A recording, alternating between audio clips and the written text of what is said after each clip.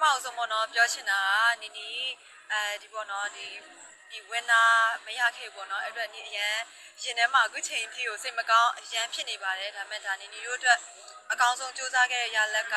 ဒီ first runner အနက်ထိုက်တန်ပါတယ်အဲနီနီကိုစိတ်မဆိုးကြပါနဲ့လို့နီနီအကုန်လုံးအရန်ချစ်ပါတယ်နီနီရှင်ထဲမှာမြန်မာဆိုတာအမြဲရှိပါတယ်မြန်မာဖန်တွေအားလုံးဒီထက်ပိုပြီးတော့စူးစမ်းကြမယ်နောက်နှစ်သွားမယ့် miss တွေကိုလည်း support ပေးကြမယ်နီနီကိုလည်းရှေ့ဆက်ပြီးတော့အများကြီးချစ်ပေးပါ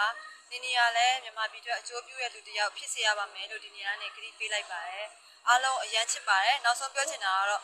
ဖန်နေမရှိရင်ဒီဆိုတာမရှိပါဘူးလို့ညီပြောချင်ပါတယ်အိမ်ကိုအရန်ပြန်ချင်နေပါပြီအိမ်ပြန်လာချင်ပါတယ်ဟုတ် Hey, we gotta go to upstairs to run. got the light Oh, with the light. Oh.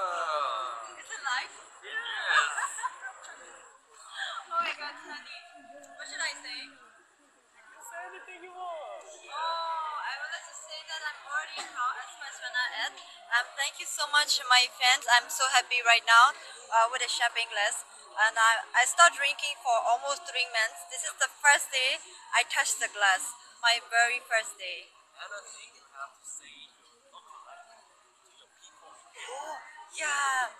Um,